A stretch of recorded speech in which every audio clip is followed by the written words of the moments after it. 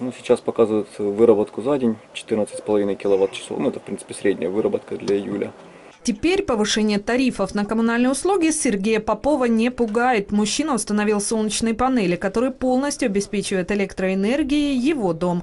Идея создания собственной мини-электростанции появилась еще в детстве, рассказывает харьковчанин. В школе Сергей увлекался физикой. В Харьковском политехническом институте изучал нетрадиционные источники энергии. Говорит, в приоритете всегда была цель сделать окружающую среду экологически чистой. Когда появилась возможность купить частный дом, я уже тогда присматривал планировал, э, чтобы дом имел правильное расположение крыши, хороший наклон, ориентацию на юг.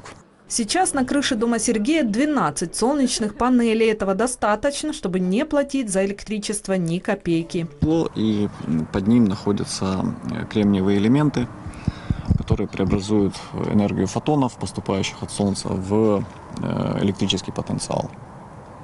Каждая такая ячейка создает напряжение около полвольта, ну и, соответственно, ток 8 ампер. Такие солнечные установки могут быть стабильным источником дополнительного дохода, утверждает харьковчанин. Избытки электроэнергии он продает Харьковоблэнерго по специальному зеленому тарифу – 5,5 гривен за киловатт-час. Так, в июне на нетрадиционной электроэнергии мужчина заработал 2000 гривен. Сама же электростанция стоила Сергею значительных средств – 110 тысяч гривен. Тем не менее, по подсчетам ученого, проект сможет окупить себя за 10-12 лет. Солнечные панели производят столько энергии, энергию, сколько на них светит солнце. И э, если, допустим, у меня в доме работают приборы, которым сейчас нужна энергия, они ее потребляют э, ну, как бы напрямую от инвертора. А если им не хватает, например, там, не знаю, сумерки, панели производят мало, то мои электроприборы, они как бы добирают из общей сети. И наоборот.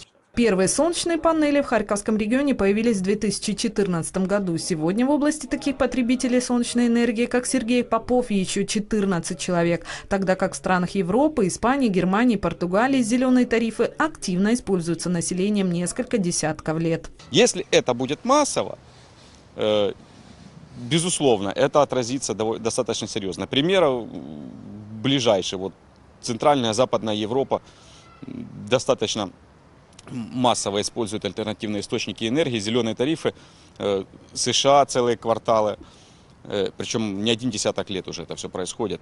Ну, ситуация там в плане атмосферного воздуха зачастую лучше, чем у нас. Харьковоблэнерго говорят, для того, чтобы зеленые тарифы в Украине действительно начали работать, необходимо поднять цену на электроэнергию. Ведь в странах Европы за 1 киловатт-час предусмотрено 10 долларов.